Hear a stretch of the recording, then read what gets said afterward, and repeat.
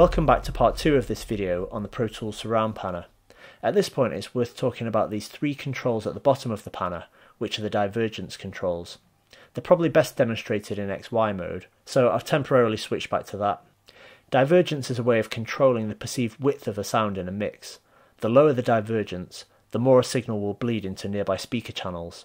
So if the sound, for example, was on the front left channel, initially with 100% divergence, it will be completely isolated in that channel. But let's say, for example, I wanted to spread the sound a little bit into the nearby front speakers. Well, one way I could achieve that would be to reduce the front divergence.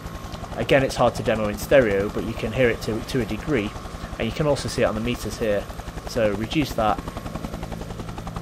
The lower it gets, the more spillage we get to the point where a 0% setting essentially means that the sound's going to play back equally through all three front speakers. If I just run this again, you can hear that this front pan control is now basically defunct. Because we've got zero divergence, it now has no effect on the sound across the front of the soundstage. We also have divergence controls for rear and front to rear. So if I wanted this sound to pan across the front, but be heard to a degree in the rear speakers, I might set an appropriate divergence for the front. Maybe I don't need to worry about the rear for now.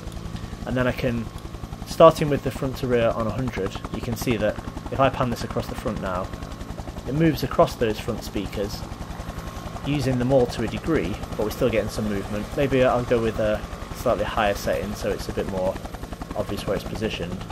So to get it to spill into those rear speakers, I'll just decrease the divergence for the uh, front rear control and now you can see from the meters at least that we are getting the sound to some degree in those surround speakers. This is a good way of increasing the perceived width or size of a sound. If you wanted to increase the spillage between the left and right surround channels, that's where you'd use this rear divergence control. Whenever the divergence controls are set to anything less than 100%, a blue bounding box appears, as you can see here. And the shape is determined by the percentage values that you've got set. The smaller the box, the lower the divergence, and so the greater the width of the sound. This brings me on to another of the four panning modes, divergence editing mode. In this mode, I can adjust the divergence just by clicking and dragging in the divergence grid. So for example, I can click here and adjust front divergence if I move it left and right. If I move it back and forth, I can adjust the front to rear divergence, or if I click at the bottom, move it left or right, I can adjust the rear divergence directly from the grid. One thing you can't do in this mode is pan the sound by moving the green dot. You can see it just doesn't let me do it. You still retain the ability though to pan the sound using the three position knobs here. Before I move on, let me just mention about the center percentage and LFE send level controls. This is impossible to demonstrate properly when you're listening to it in stereo, but you'll be able to see it on the meters at least. Let me just show this dialogue track, okay, and bring up the output for that. So if something is centrally panned at the front with the center percentage control set to 100, then it's going to be heard out of only that speaker. That's assuming, of course, that the divergence is also set to 100. So I'll just run a short section of this dialogue, keep an eye on these meters, and you'll see only the center channel is active. Now, if I said to you camper van, you wouldn't instantly think of a Ford, would you? Okay, on 0%, it won't use the center speaker at all, and it will actually be a phantom image between the left and right speakers, as it would if you panned it centrally in a normal stereo mix. I'll just demonstrate that. Now, if I said to you camper van, you wouldn't instantly think of a Ford, would you? So the question now is, when is this useful? Well, it can be really useful when you want to keep certain sounds out of the center speaker in order to maintain clarity of dialogue, so let's say have this dialogue. Maybe it's locked to the centre by having 100% centre percentage, but at the same time, perhaps we've also got uh, this helicopter playing. Okay, initially it might be on 100%. That could be a problem. Again, this is hard to demo in stereo, but both would be coming out of the centre speaker. As well as sounding quite narrow, what that could also do is reduce the audibility of the dialogue a little bit. So instead of having it on 100%, maybe the helicopter's on a very low or even 0% setting.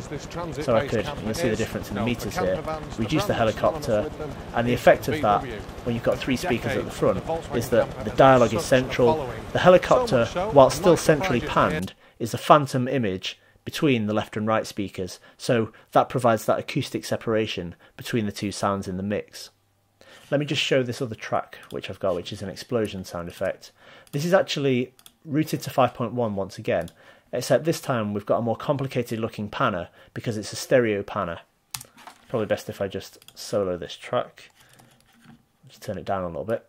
Okay, let me just run this sound. I'll talk about the two sets of controls which you get on stereo tracks shortly, but for now let's take a look at the LFE send control. just show you this output meter at the same time. So initially we're not going to send anything to the sub. That's the default. So if I just run this sound, you can see in this case, it comes out the left and right speakers, but it doesn't come out of the sub at all. Well, maybe we want to add some weight to the sound. This control is really straightforward. Increase it to increase how much of the signal goes to the sub. And you'll see on the meters, when I increase it, this meter here, which represents the low frequency effects channel, has now got signal in it indicating that we're getting some of this explosion sound in the subwoofer. Now we'll take a look at the fourth and final surround panning mode, which is Auto Glide. This mode lets you write surround panner automation by clicking different locations within the panning grid, rather than manually moving the panner controls. In fact, you can't drag the sound in this mode.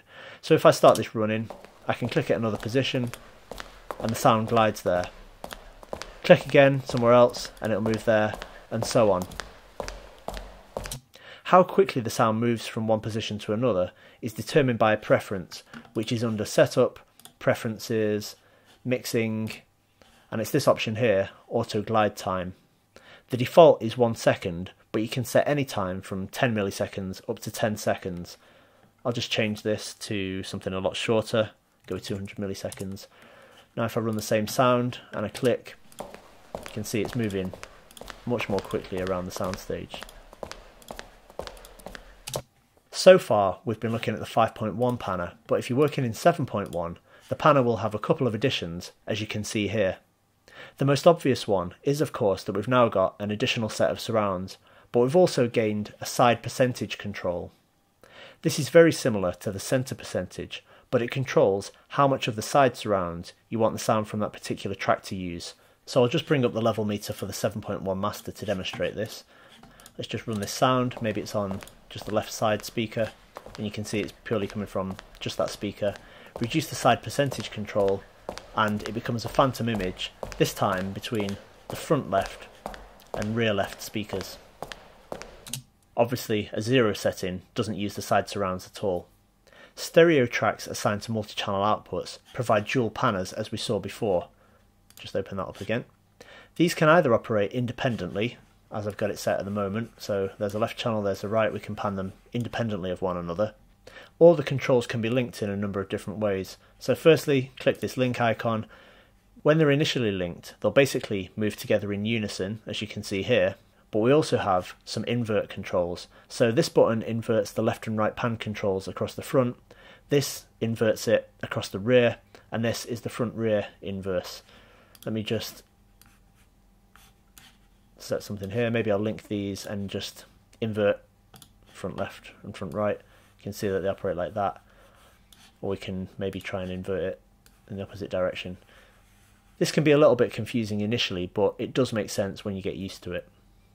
Well, I hope this video has provided you with some useful information on the Pro Tools Surround Panner. There are various other slight variations on the panner, depending on the speaker layout that you're working with, such as 6.1 and 7.1 SDDS, but I've covered the basic concepts and controls of the surround panner. Thanks for watching.